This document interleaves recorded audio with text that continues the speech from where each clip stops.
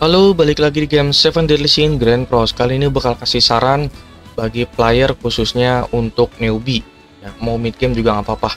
Gua kasih saran ini temanya untuk masalah banner gratisan di event 5 tahun anniversary.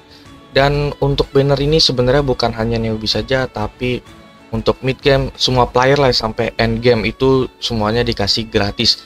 Nah biasanya kalau player newbie bakalan login itu bakalan ada banner yang bagus seperti ini ya. Nih, uh, nah ini semuanya dapat ya. Mau end game lah bisa dapat. Cuman kalau untuk yang baru main ini mantap banget ya. Ini udah diperbarui yang sebelumnya isi bannernya biasa aja gitu. Cuman modal Melodas Losven biasa terus Ban Purgatory asal Melodas Merlin Bocil itu udah ketinggalan meta dan sekarang di sini diperbarui isi bannernya hero-hero yang meta. Eh sebelum gue pengen bahas ini, sorry nih gue pengen sebenarnya gue pengen review ya review Holy Relic Trator Melodas terus main di Nidhogg, ah, main di Nidhogg, main di Ratastok atau Tupai itu menyusul ya karena gue waktunya lagi sangat sibuk jadi di sini gue yang gampang-gampang dulu aja lah ya. Oke, di sini gue pengen kasih saran buat newbie. Ini mumpung belum sampai full 14 hari atau eventnya belum berakhir lah. Ini kalau yang kalian login sampai dari event sebelum reset sampai sekarang itu uh, gue yakin kalian sudah lima hari ya, lima hari. Dan ini sebenarnya sih dikasih waktunya satu hari kalau misalnya kalian apa loginnya jam 2 lagi pas pada saat hari Selasa ya. Kalau hari Selasa itu kan maintenance-nya jam 11 siang kalau kalian login sebelum reset itu gue yakin kalian sudah 5 kalau belum kalian loginnya pas di hari Selasa loginnya jam 2 setelah reset pasti masih ada di 4 dan untuk batas batas waktunya di sini 16 hari lagi. Kalau gue di sini dikasih waktu kalau nggak login dua kali itu nggak masalah. Masih full bisa 14 hari. Tapi kalau kalian yang cuman yang loginnya di atas jam 2 jam 2 siang pas hari Selasa itu 4 itu dikasih waktu cuman satu hari bonus doang ya. Jadi kalau kalian gak login selama satu hari itu masih bisa ada waktu jadi ini sayang banget bannernya kalau kalian tidak login sama sekali. Karena sekali kalian klik login atau sekalian gacha itu udah terhitung ya.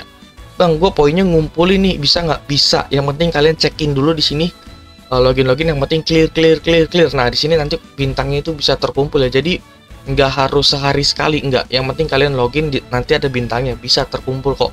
Gue tadi lo, uh, gacha dua kali di sini ada bintangnya dua. Oke jadi untuk per lobby nanti gue pengen kasih tahu kalian di PT 300 450 sama 600 kalian harus pilih hero apa aja yang terbaik buat kalian sampai mid game lah ya. Dan untuk yang pertama di sini gue pengen bahas dulu untuk masalah check-innya. Di sini check-innya itu cuma sampai 14 hari aja. Jadi kita dikasih gratisan gacha sampai 14 kali. Itu kalau kalian lengkap ya kalau kalian lengkap login tiap hari. Terus per harinya itu kan 30 diamond di sini. Nah 30 kali 14 itu 420 diamond. Berarti kalian gacha di sini cuma hanya sampai 420 diamond saja. Tidak sampai 450 600 itu jadi kalian sisanya harus pakai diamond sendiri. Bang, kalau newbie wajib gak? Sisanya harus gacha? Wajib gacha ya, karena ini isi bannernya bagus atau pilihan garansinya lah. Ini hadiah garansinya bagus dan selektor nih hadiah miles. Penuhi miles dan pilih salah satu. Nah ini selektor paling enak. Jadi kalian untuk di awal yang gratisan cuma hanya 300 ya. Ya kalau gue mah nggak bakalan lanjutnya karena udah punya semua. Nah ini untuk para newbie. Untuk di 300 gue saranin kalian pilih Creator Meloda saja. Ya, Creator Meloda saja karena ini yang lebih worth it untuk di build atau dipakai. Apalagi sekarang sudah ada Holy Relic-nya ya untuk endgame. Tapi untuk masalah newbie ini wajib banget karena biar bisa main burung atau semua endgame lah ya karena eh bukan endgame semua all content karena ini emang hero buat PvE. Bang, gue udah punya TM gimana? Yaudah kalian pilih Elizabeth Lake karena tujuan newbie itu wajib punya karakter semuanya ya. Walaupun Elizabeth ini ada di nanti ada di banner gitu. Cuman gue saranin kalian pilih Elizabeth kalau kalian sudah punya Treator Melodas karena lumayan buat menemunuhin CC box kalian ataupun hero-hero klan Dewi untuk sementara apalagi kalau kalian tidak punya Queen Elizabeth.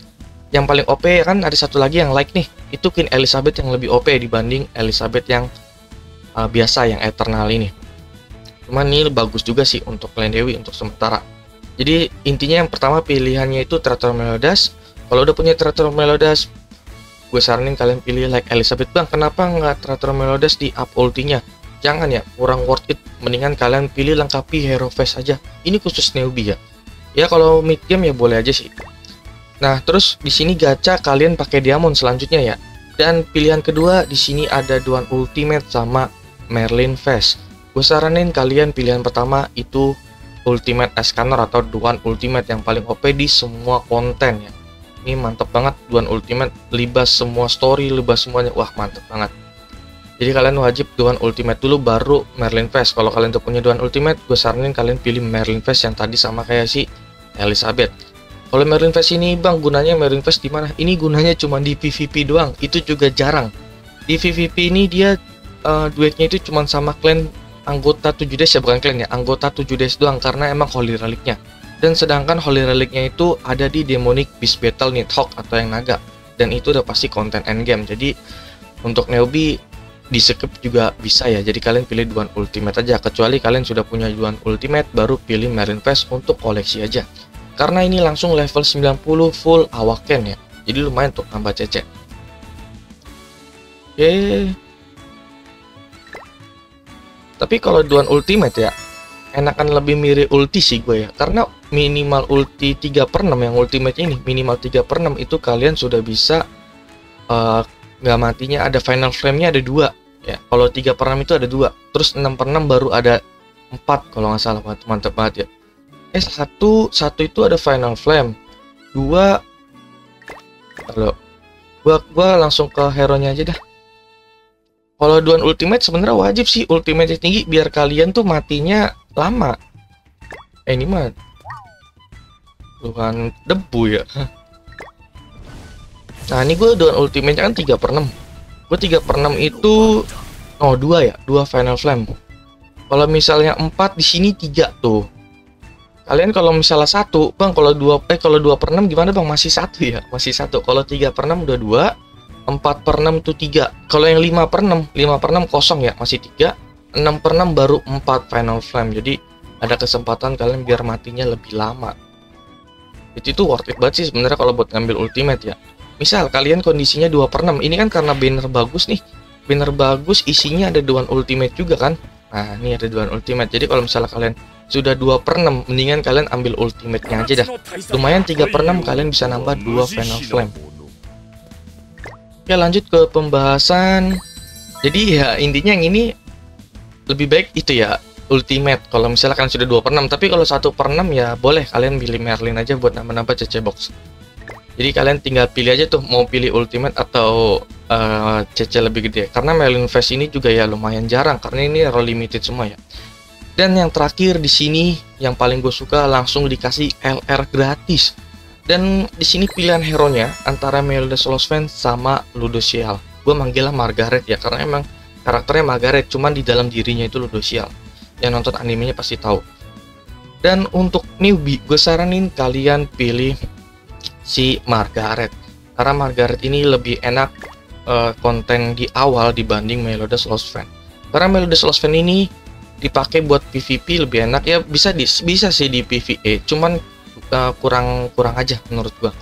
Karena dari pasifnya itu eh, dari ultimate-nya ya ultimate itu minimal wajib 4 per 6 biar damage-nya kerasa terus holy relic. Kalau kalian belum belum holy relic belum terlalu wow banget Sedangkan Holy Relicnya itu ada di Naga Nidhogg ya, itu konten endgame. Jadi aw untuk awal-awal di sini gue saranin kalian pilih Margaret. Karena kalian bisa di awal-awal itu bisa pakai tim clan Dewi. Clan Dewi itu CC-nya gede banget ya kalau buat di PvP, di PvP. Karena buat newbie itu target PvP minimal champion ya biar per minggunya dapat 50 diamond. Champion 5 kalian gak main-main PvP juga gak masalah itu nggak bakalan turun ke master lagi. Itu udah bakalan stuck di PV, uh, eh, di champion 5 terus. Ya. Ya yang penting kalian per minggu itu daftarin timnya. Kalau kalian nggak daftarin timnya itu baru bakalan turun. Intinya kalau kalian sering daftarin tim setiap seminggu sekali hari Senin itu nggak bakalan turun sama sekali kalau di champion 5 ya. Kecuali di champion 4 itu bakalan turun di champion uh, eh, 5 jadi enak banget buat 7 dari sini sih. Per, per bulan eh per minggu 50 diamond Oke, jadi seperti itu. Bang, gua udah punya Margaret LR. Ya udah, berarti kalian harus Meliodas Loven LR karena lumayan nih kalian langsung ada dua hero LR ya. Jadi kalau ini jangan ngambil ultimate nih nggak kayak Duan Ultimate ya.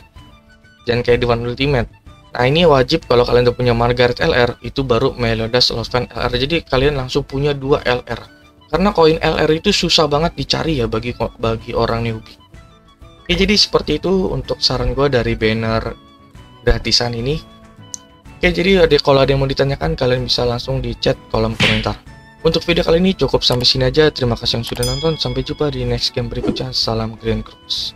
Oke jadi sini gue pengen ngasih informasi sedikit buat kalian bagi kalian yang ingin nitip atau pengen jual akun kalian atau ingin beli akun kalian kalian bisa datang di lapak Instagram gua 7dsakun.id.